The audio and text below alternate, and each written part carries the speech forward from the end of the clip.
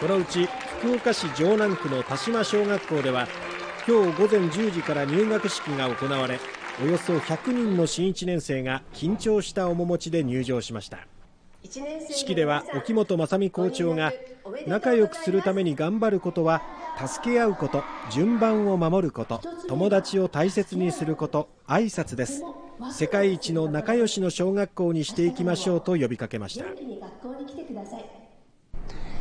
嬉しい気持ちです。運動会が楽しみです。頑張りたいことは何ですか？勉強です。